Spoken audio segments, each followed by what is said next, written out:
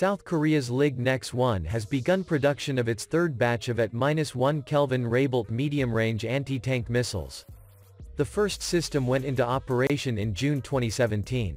LIG Nex1 presents Raybolt as a partner to the USFGM 148 Javelin and Israel's Spike Mister.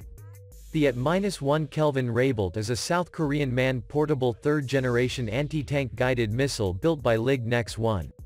It has fire and forget capability using an infrared imaging seeker and has a tandem warhead to defeat explosive reactive armor.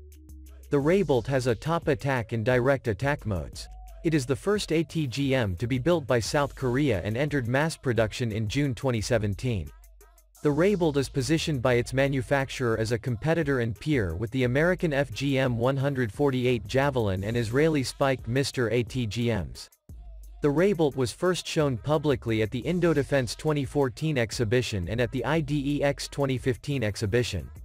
Development began in 2007 and began in earnest in 2010, as South Korea's existing anti-tank guided missiles were reaching the end of their 25-year service life.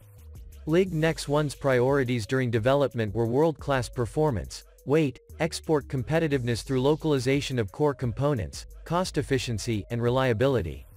The Raybolt's most notable feature is an imaging infrared seeker providing fire and forget capability. It also has a tandem warhead and both direct attack and top attack modes. The Raybolt uses a smokeless propellant and can be fired from within a building. The Raybolt Missile and Observation and Launch Unit, OLU, can either be vehicle-mounted or carried as a manpack by two men. There are also discussions to mount the Raybolt on helicopters. The OLU has day, night capability via a thermal sight. The missile uses a soft launch to escape the barrel before activating the main flight motor.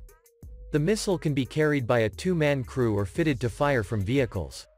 The South Korean Army uses an anti-tank version of the Kia Motors 4x4 Light Tactical Vehicle, LTV, called the K153C. The roof is equipped with a launcher turret with two missiles ready to fire and four additional missiles carried inside the vehicle.